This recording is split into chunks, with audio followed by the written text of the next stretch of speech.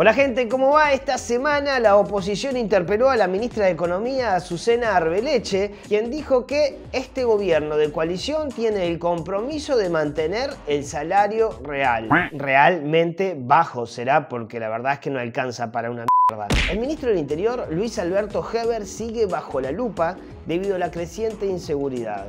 Y la verdad es que las declaraciones que está haciendo no lo están ayudando demasiado al punto en que nuestro mismísimo presidente, el señor Luis Lacalle Pou, parecería estar buscando un reemplazo. Ah, y Graciela Bianchi hizo un comentario espantoso diciendo que la causa de familiares de detenidos desaparecidos durante la dictadura era una causa muy politizada y llegó a compararla con usar una camiseta de Peñarol. Un comentario muy pelotudo de una persona que justamente es hincha de decir pelotudeces. Mi nombre es Leandro Ureta y los invito a ver un nuevo informe de humor y actualidad donde hablamos sobre lo que está pasando.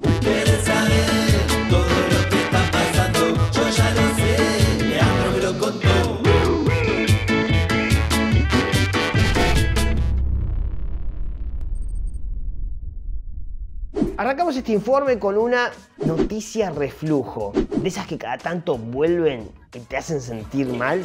Resulta que Ernesto Talvi está vivo, le hicieron una entrevista hace poco y declaró que la política en su vida es una puerta cerrada. Cerrada, como las puertas de los 136 liceos que había prometido en campaña. Talvi declaró que divide su vida entre Uruguay y España, posicionándose en ese lugar clásico de tipo con plata que dejó embarazada a una adolescente humilde y después se rajó a otro continente para no hacerse cargo. O sea, es una analogía lo que acabo de decir, no, estoy diciendo que Talvi dejó embarazada. O sea, el adolescente vendría a ser el país ah. y, el embarazo vendría a ser este gobierno inoperante y poco... No, no estoy diciendo que haya embarazado a una... Corta, corta. La cuestión es que no solo nos clavó con este gobierno, sino que no lo está viviendo, no lo está disfrutando, ni tampoco padeciendo.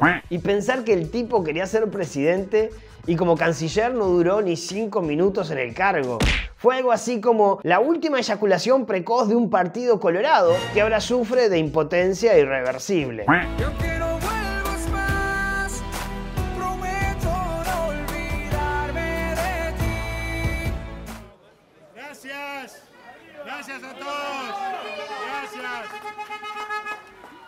Después de la ola de crímenes que se vieron en los primeros 15 días de mayo, el ministro del Interior Luis Alberto Heber anunció esta semana que... Ladies and gentlemen. Bajaron las llamadas en joda al 911. No, no hay remate, no, ese es el chiste. Es un imbécil. Pero además aprovechó las cámaras para responder a las críticas frente a su recorrida por el barrio de Punta Carretas la semana pasada. Recorrer está mal. La crítica es porque se mueve el ministro. La crítica es porque no soy un ministro que esté sentado en el despacho. Ya hubieron algunos este, éxitos en lo que puede ser el despliegue policial, pero eso es de todos los días. ¿Cómo me calienta la forma en que habla y se hace la víctima? ¿Está mal salir a recorrer? ¿Está mal no quedarse sentado detrás de un escritorio? No, señor, lo que está mal es que hayas dicho que recorriste un montón de barrios, pero que justo las cámaras te siguieron por Punta Carretas. Mientras te sonreías, te sacabas selfies y te comías un pedacito de fainá. Está mal que creas que está mal que te critiquen. Mientras que las cosas malas siguen pasando y vos declarás que todo es un éxito. Básicamente lo que está mal es que haya salido a gritar en televisión de que volvieron las carteras a los barrios para 15 días más tarde tener que inventar de apuro un plan califragilístico porque hubo 15 homicidios en menos de 15 días. Ahora volvieron las carteras al barrio. Ahora podemos salir con cartera. Ahora podemos vivir sin miedo. Esta semana la ministra de Economía, Susana Arbeleche, fue interpelada por la oposición y otra vez volvió a declarar erráticamente, porque cuando nos hablan los uruguayos nos dice que todo lo malo es culpa de los gobiernos anteriores, pero cuando sale a buscar inversores dice que tenemos la mejor economía del cono sur. que me gusta! quiero destacar especialmente el quiebre que existió y existe con el modelo económico anterior, en donde el gasto crecía en forma permanente y los recursos se buscaban con más impuestos. Para nosotros, señor presidente, fue y es central no aumentar impuestos.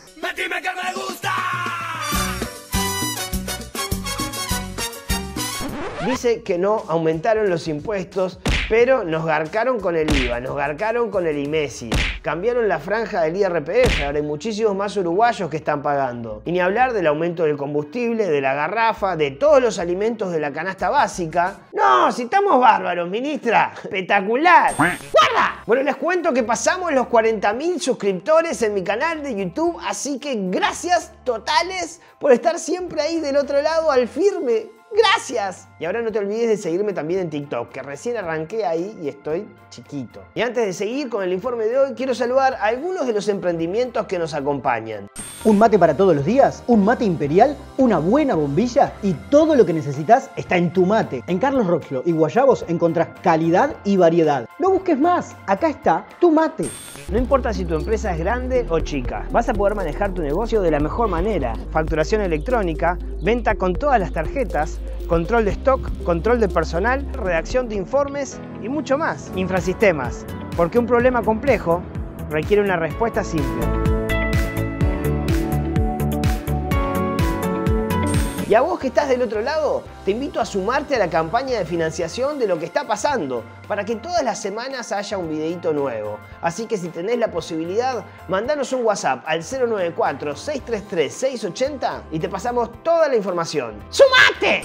Y no te olvides que este sábado, 21 de mayo, y el sábado que viene, 28 de mayo, voy a estar en la sala Under Movie del Montevideo Shopping. En esta pandemia, los artistas vivimos los 18 meses más complejos de nuestra historia. Y en estas funciones de 70 kilos de stand-up, te cuento algunas de las técnicas que empleamos para sobrevivir. Saca tu entrada ya mismo en movie.com.uy o escribime en cualquiera de mis redes sociales. ¡Sumate! Hoy viernes 20 de mayo se realiza una nueva Marcha del Silencio la número 27, en una jornada que nos interpela como sociedad. ¿En serio hay personas a las que no le importa dónde están? Venimos de dos años políticamente duros y humanamente peores. El año pasado, el 20 de mayo, Manini Ríos prefirió saludar a las abejas antes que a los familiares.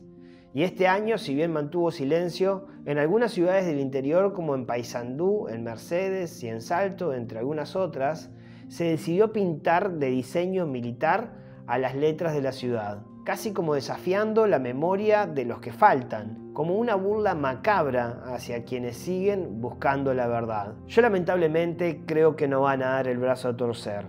Creo que su orgullo y sus convicciones inescrupulosas van a continuar hasta el día de su muerte, ya que es poco probable que alguno se anime a hablar de las cosas que no hablaron hasta ahora pero igual creo pertinente continuar con la proclama, una proclama que a esta altura ya excede a las víctimas y a sus sobrevivientes, porque aunque haya algunos que no se sientan familiares, sí deberíamos estar todos juntos para decir nunca más.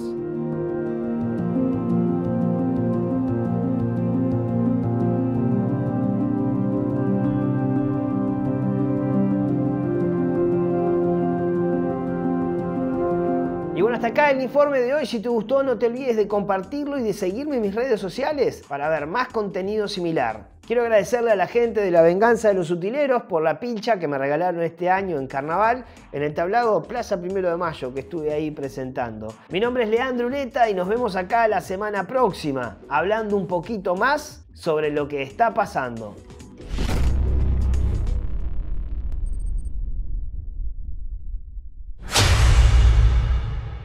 Escuchame una cosa. Viste que hay una soltera codiciada en este momento, ¿no? Puede ser, no sé. A ver, dame, dame Pero pasa que a vos te gustan más jóvenes. Ella es muy bonita. Está separada de Luis Lacalle Pou. Lorena Ponce de León. ¿Te gusta? Sí, sí. Lorena. Bueno, solamente entra a las redes sociales y fíjate los me gusta y ahí ya vas a ver un poco. No, para. Empecé a ver que le tiraste, porque uno aparece al seguir, te aparece que le das me gusta. Ah. Entonces empecé a ver y ella. Le tiraste. Y ella también. También, por eso. Sí, sí, sí. No, divina, divina, divina. Está soltera. ¿Estás soltera? Sí, no, no, no. Bien. Muy. Perdón, ¿a Mirá, Lorena cumple- Ponce de León, sí o no? Sí, sí, 100, 100%. 100%, 1000%. Divina, una mujer. Pero es mayor. ¿eh? Vos dijiste que No, de, de 25, pero después de tiene- 25 son viejas. dijiste Tiene todo, tiene todo. Es una, una mujer encantadora, inteligente, Sí. eh, meritoria. Pero bueno, para, para. Gran, gran parte del, del- del prestigio que, que tiene eh, Luis es de ella, ¿no? Obviamente. En esos casos es donde se refleja la, la mujer atrás del hombre. Eso- ¿Vos no sos amigo de Luis? Eh, bueno, tenemos. No, amigo no, amigo no, pero sí. No, amigo no, pero. No, divina, la verdad, divina. Y bueno, vamos a ver. No sé, no sé, el tiempo, el Dios dirá, el, el destino dirá. Ha vuelto el matador, ha vuelto el matador. De tantas que ha tenido, nunca tuvo un amor.